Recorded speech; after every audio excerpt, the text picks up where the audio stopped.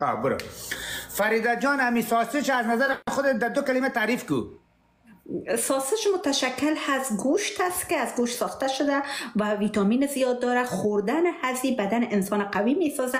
همیشه ساسج بخورین. و خودت میشه که برای ما سمبوسه رو تعریف کنی. سمبوسه یگانه چیزی هسته و یگانه ماشین روی زمین هسته که هر ماه خودش روغن خودش تبدیل می‌کنن نه سمبوسه آیا خورده میشه؟ خورده میشه درباره خوردنش تعریف کن سمبوسه لسیده میشن لسیده. خواب به سرت. چرا؟ سمبوسه لیسیده نمیشه سمبوسه خورده میشه. خب ما که هستم ما سمبوسه رو میلیسم خب شما سیستمتان دیگر رقم است. ما در کشور خودمون سمبوسه رو داریم. به خاطر پیش خوردنش باید بلسیدش. می‌فهمی پیش خوردن باید بلسید به خاطر که اگر کدام جای میکروب میکروب گرفته باشه بشه خاک سرش داشته باشه خاکش پاک شه با از بخوریدش. بچه آه.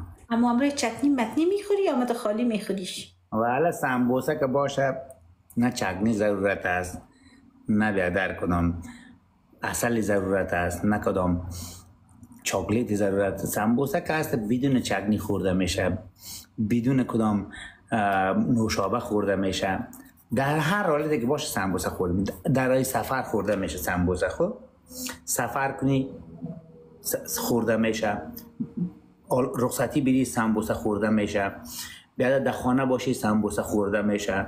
بیا در, در موتر باشی سمبوسه خورده میشه. در هم جایی که باشی سمبوسه خورده. ببین سمبوسه زندگی نمیشه. فرید سادات.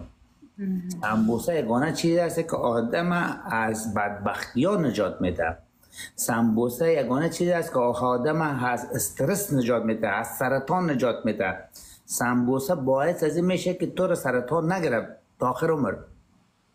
اگر سمبوسه نخوری امکان سرطان گرفتن داره. چون که استرس پیدا می‌کنی دپرشن میشه. دپرشن برای کنسل میشه که کنسل ما به زبان خود ما بغمه میگیم سرطان سرطان. اگر سمبوسه داشته باشی بخوری همیشه هیچ وقت رو سرطان نمی‌گیره.